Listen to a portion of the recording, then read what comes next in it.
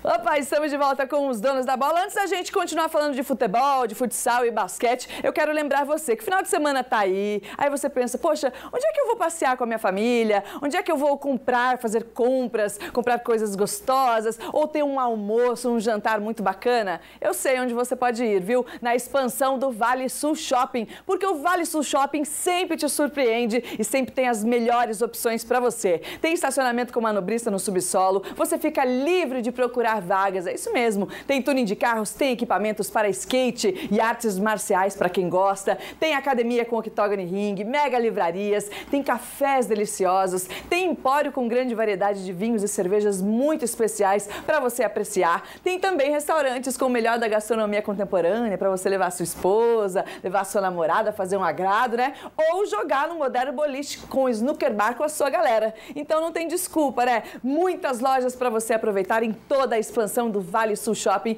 que está com você em todos os momentos e fazendo também os melhores momentos da sua vida e apoiando o esporte da nossa região, hein, galera? Vale a pena você prestigiar também. Agora nós vamos ver os resultados e os jogos dos times da região pela Liga Paulista de Futsal e pela Liga Nacional de Futsal. Veja aí. Pela Liga Paulista de Futsal, depois de três jogos em jejum, o Taubaté voltou a vencer e fora de casa. Goleou o Mogi das Cruzes por 5 a 3. Hoje, às sete e meia da noite, o Jacareí enfrenta o Osasco fora de casa. Pela Liga Nacional de Futsal, amanhã, às 11 horas da manhã, o São José recebe o Unisul Tubarão de Santa Catarina, no ginásio do Tênis Clube. É, esse jogo da Liga Nacional, o técnico Ivan Gomes do São José esteve conosco ontem aqui no programa ao vivo, disse que vai ser um jogo difícil, porque é um, é um time conhecido lá de Santa Catarina, mas que não é impossível, ainda mais jogando, é, mesmo jogando fora de casa, não é, cara? É, não, o time joga em casa, no caso do, do São José, tá faltando é o apoio da torcida, né, que não Sim. tem ido muito, 11 horas é um horário diferente no sábado, não sei.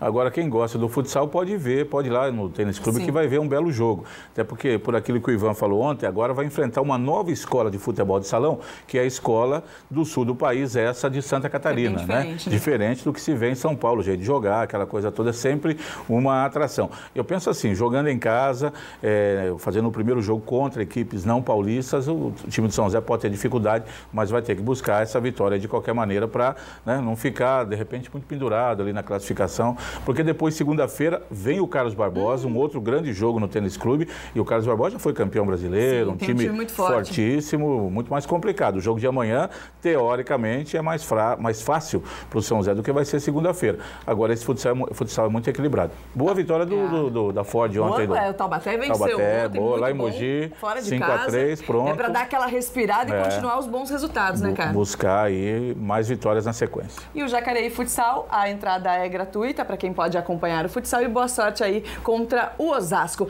Antônio Carbão, falar de NBB, Novo Basquete Brasil, São José perdeu o primeiro jogo das quartas de final, os playoffs, né, a série melhor de cinco, foi 85 a 62. E agora as duas equipes voltam a jogar amanhã, que é seis da tarde, novamente lá no ginásio do Tijuca. O que dizer sobre esse jogo, Antônio Carmo? Placar baixo, tanto para um lado quanto para o outro, mas a Não, diferença. Do, do a, a, diferença é muito grande, é. né? Eu acho que o Flamengo fez o número correto de cestas. Eu imagino sempre assim, que menos de 70 pontos não dá. É, e o Valtinho falou isso depois do jogo ontem, dizendo o seguinte: se quiser ganhar do Flamengo, tem que fazer pelo menos 70 pontos, tem que subir.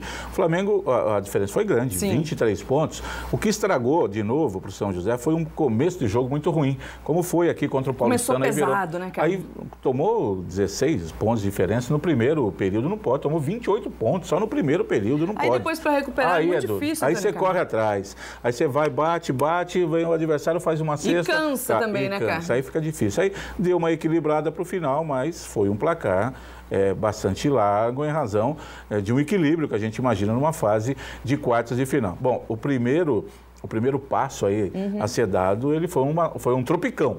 Então caiu. Agora, Agora amanhã, eu, André, eu vejo assim, é, para classificar e eliminar o Flamengo, tem que ganhar o jogo amanhã. Porque depois vem para dois jogos em casa, com a pressão, mas sabendo que pode fechar a série, porque se perde amanhã, O Flamengo vem para um jogo Um em São José. só. Né? Aí, bom, aí o São José ganha os dois e vai para o quinto jogo lá no Rio de Janeiro. A pressão fica muito mais fácil para o time da casa. Então eu, eu vejo dessa maneira. Não é que não pode, claro que pode. É, Pode acontecer, Eu me lembro né? de São José e Brasília, acho que há dois anos, São José empatou a série em 2 a 2 foi fazer um quinto jogo em Brasília. Ah, tá fácil para o Brasil. São José lá e ganhou, jogando bem. Então isso ocorre. Mas hum, não é o normal. Uhum. Dentro de uma normalidade, o time da casa acaba é, é, ganhando jogos é, como mandante. Então eu imagino que tem que melhorar amanhã marcar melhor, ter um aproveitamento melhor Uhum. é, na parte ofensiva, fazer mais pontos e tentar de qualquer jeito ganhar o jogo amanhã. Eu vejo desse jeito aí, porque se não ganhar amanhã, vai ficar Fica muito, muito muito, muito, muito difícil. Não que já está eliminado, isso não, não existe.